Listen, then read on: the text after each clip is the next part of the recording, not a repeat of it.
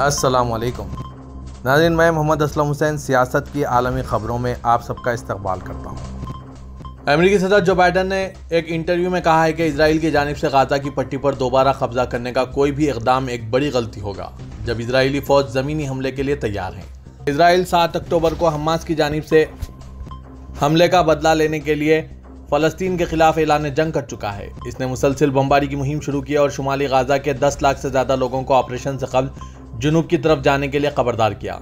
CBS के news programme सात minutes के ज़रिए पूछे गए, सवाल, क्या वो अमरीकी इतिहादी के गाज़ा पर किसी भी कब्जे की हिमायत करेंगे? जो बाइडन ने जवाब दिया, मेरे ख्याल में एक बड़ी गलती होगी। गाजा में 10 लाख से जायद लोग अफरा तफरी और मायूसी के मनाजिर में अपने घर दार छोड़ चुके हैं, क्योंकि इसराइल की जानब से हमास के जेर इकतदार इलाके पर बमबारी जारी है। और आज पीर को एक मुकम्मल ज़मीनी हमले की तैयारी में फौजियों की भरमार देखी गई। इसराइल ने गाजा की पट्टी पर एक मुसलसिल बमबारी की मुहिम शुरू की है जिससे मोहल्ले हमवार हो गए और कम अज कम 2660 अफराद हलाक हो गए जिनमें ज़्यादातर आम शहरी थे।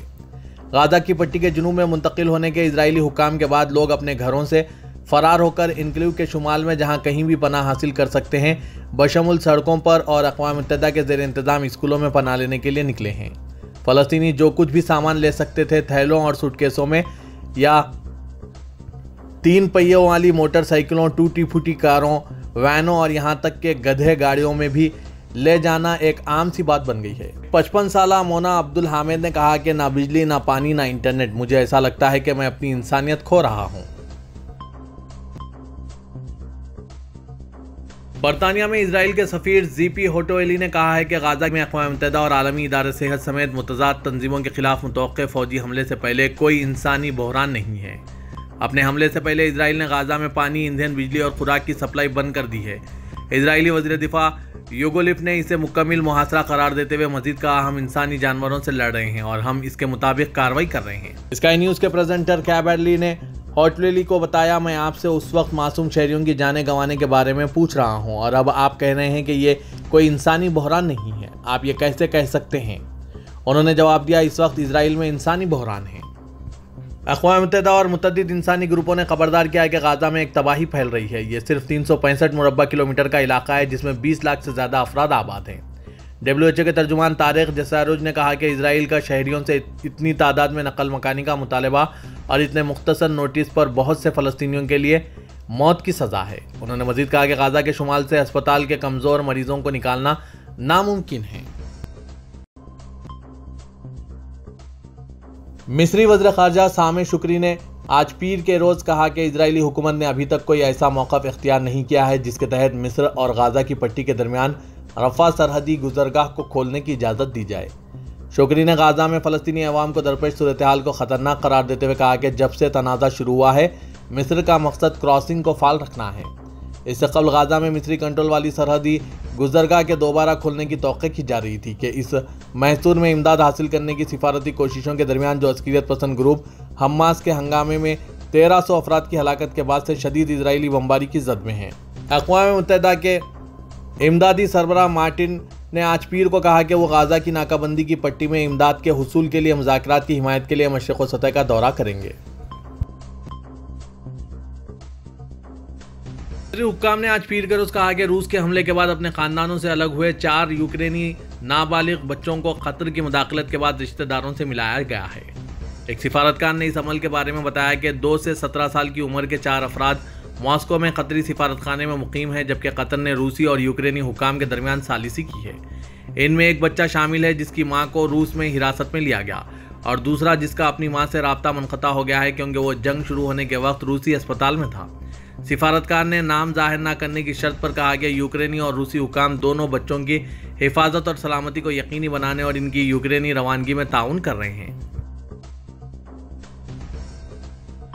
मलेशिया के वजी अजम अनवर इब्राहिम ने कहा है कि जनूबी इसराइल के इस हमले के बाद मलेशिया हमास की मजम्मत के लिए मगरबी दबाव से इतफाक़ नहीं करता। मलेशियन वजी अजम अनवर इब्राहिम ने आज पीर को एक बयान में कहा कि मलेशिया फ़लस्तनी अस्करियत पसंद ग्रुप हमास की मजम्मत के लिए मगरबी दबाव से इतफाक़ नहीं करता। हमास से पहले से ताल्लुक़ रखते हैं और यह सिलसिला जारी रहेगा। रिपोर्ट के मुताबिक, मलेशियन वजी अजम अनवर इब्राहिम ने कहा कि मगरबी और यूरोपीय ममालिक ने मलेशिया से बारह मुलाकातों में हमास की मजम्मत करने को कहा है। ताहम उन्होंने मजम्मत करने से इनकार कर दिया। मलेशियन वजी अजम ने पार्लियामेंट को बताया कि मैंने कहा कि हम एक पॉलिसी के तौर पर हमास के साथ पहले से ताल्लुक़ रखते हैं और यह सिलसिला जारी रहेगा। इसी तरह हम मगरबी और यूरोपी ममालिक के दबाव वाले रवैये से मुतफ़ नहीं हैं, क्योंकि हमास ने इंतबात के ज़रिए आज़ादाना तौर पर गाज़ा में कामयाबी हासिल की और गाज़ा वालों ने खुद इन्हें क़्यादत के लिए मुंतखब किया। वाजरे के मुस्लिम अक्सरती मलेशिया फ़लस्तीन का भरपूर हिमायती रहा है। इसराइल और फ़लस्तियों के दरमियान तनाज़े के दौरान फ़लस्तनी रियासती हल की वकालत करता रहा है, तहम इसराइल के साथ मलेशिया के सिफारती ताल्लुक नहीं हैं।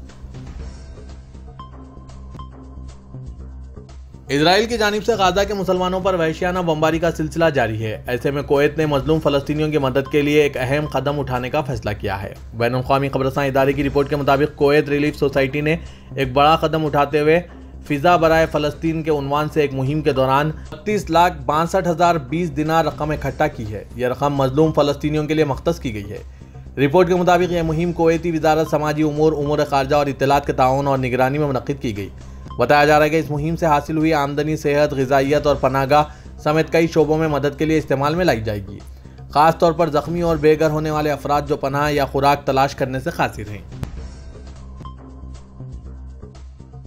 इसराइल मिस्र और अकवा मुतहदा के दरमियान जल्द ही जंगबंदी का माहदा हो जाएगा। इन इतलात के बाद इंसानी इमदाद ले जाने वाले सौ से ज़्यादा ट्रक आज पीर के रोज़ रफा सरहदी गुजरगाह पर दाखिले के मुंतजर हैं। ताहम हमास के एहलकार इज़्ज़त रशीक ने। आज पीर के दिन रिटर्स को बताया कि मिस्र के साथ सरहदी गुजरगाह खोलने या आर्जी जंग बंदी की खबरों में कोई सदाकत नहीं है। जब हमसाया मुल्क मिस्र में सिक्योरिटी जराए ने कहा है कि इस तरह के माहे पर अमल दरामद होना था तो इसके आधे घंटे बाद इसराइल ने भी एक बयान जारी किया, जिसमें जनूबी गाजा में जंग बंदी के हवाले से तरदीद की गई। वजी अजम इसराइल बिंजामिन नितिन याहू के दफ्तर से एक बयान में कहा गया है कि गैर मुल्कियों को निकालने के बदले गाजा में फ़िलहाल कोई जंग बंदी और इंसानी इमदाद नहीं की गई। गाज़ा पट्टी और मिस्र के दरमियान सरहदी गुजरगा खत्े में इंसानी इमदाद पहुँचाने में अहम किरदार अदा करती है और महसूर शहर से बाहर जाने के लिए बुनियादी रास्ते का काम करती है। गाज़ा की जानब से मिस्र में दाखिल होने वाली गुजरगा गाज़ा से निकलने वाली मरकज़ी गुजरगा है, जो इसराइल के कब्ज़े में नहीं है। वहाँ पर इसराइली बमबारी इमदादी कार्रवाइयों को मुतासर कर रही है। फ्रांस के वज़ीर दिफा सब्सटियान ल्यूकोर ने कहा कि दोनों मुल्कों के दरमियान रिवायती साझेदारी के दायरे कार में हम इसराइल को खुफिया मालूम फराहम कर रहे हैं। उन्होंने रोजनामा अली प्रोग्रेस के इंटरव्यू में इसराइल फ़लस्तीन झड़पों के बारे में बयान जारी किए। इस सवाल के जवाब में कि क्या फ्रांस इसराइल को अस्करी ताउन फराम कर रहा है? उन्होंने कहा कि फ्रांस इसराइल को ज़्यादातर खुफिया मालूम के तबादले में ताउन फराम कर रहा है। कोवैती वली है शेख मशाल अहमद अल जाबिर अल सबा से पीर को सऊदी वजी खारजा शहजादा फैसल बिन फरहान ने कोवैत के बयान महल में मुलाकात की है। मुलाकात के मौके पर कोवैती वजी खारजा शेख सालम अब्दुल्ला अल जाबिर अल सबा मौजूद थे। खबर इदारे एस पी ए के मुताबिक सऊदी वजी खारजा ने कोवैती वली हैद को सऊदी क़्यादत की जानब से कोवैती क़्यादत के लिए कैद सगाली का पैगाम कोवैत की पायदार तरक्की व खुशहाली और नए ख्वाहिशात भी पहुँचाए। इस मौके पर गाज़ा और इसके आसपास के ताज़ा हालात और जंगबंदी के लिए की जाने वाली बैन अवी कोशिशों नेज गुज्त दिनों, शदीद अस्करी हमलों से निहत्ते शहरीों के तहफ़ के तरीक़ों पर तबादला ख्याल किया। सऊदी एजेंसी की जानब से उम्र की अदायगी के हवाले से नई हिदायत जारी की गई है, जिस पर अमल करने की ताकीद की गई। गैर मुल्की ज़रा इबलाग के मुताबिक ज़्याबतीस के शिकार मुसलमान जो उम्र अदा करने की ख्वाहिश रखते हैं, इन्हें फराहम करदा सिफारिशात पर अमल करने की ताकीद की गई। ज़्याबतीस के शिकार अफराद के लिए जारी नई हिदायत में कहा गया है कि वो मक् मुकरमा में उम्र के मनासिक शुरू करने से पहले अपनी ज़रूरी अद्वियात इस्तेमाल करें।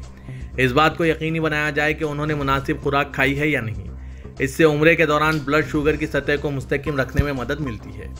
ज़ायरीन को पानी की कमी को रोकने के लिए काफ़ी मकदार में पानी पीने की तरगीब दी जाती है, ख़ासतौर पर मक्के में गर्म और खुश्क आबो हवा के पेश नज़र ऐसा लाजमी करना चाहिए।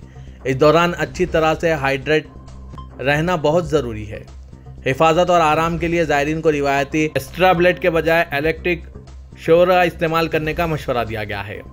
छालों और तकलीफ़ के ख़तरे को कम करने के लिए आरामदा मोज़े पहनने की सिफारिश की गई। जब ज़रूरी हो, ज़्याबतीस के मरीजों को सेहत से मुतल खदशात को दूर करने के लिए करीबी मराकज सेहत से तिबी इमदाद लेने में हिचकिचाहट महसूस नहीं करनी चाहिए। सदर की रजब तबरदगान ने बरतानवी वजरातम रिश्ती सुनक से टेलीफोन पर बात की। सदारती महकमा इतलात के समाजी रबतों के पेज पर पोस्ट में वाजे किया है कि इसराइल फ़लस्तीन तनाज़े की मौजूदा सूरत हाल खत्े में अमन के क़्याम के लिए मुमकिन पॉलिसियों पर अमल दरामद और शदीद इंसानी बहरान के हल के लिए फौरी इकदाम पर बात की गई। गुफ्तु के दौरान सदर अर्दगान ने कहा कि गाजा में इंसानी हकूक़ की खिलाफ वर्जियों के खिलाफ आलमी बरदरी बिलखसूस मगरबी ममालिक को मौसर कार्रवाई करनी चाहिए और इश्तेलंगेज इकदाम जो बहरान को मजीद तोल देंगे, इसके बजाय फ़लस्तीन के साथ बरसों के दौरान दिए गए वादों को याद रखना और इन्हें पूरा किया जाना अहम है।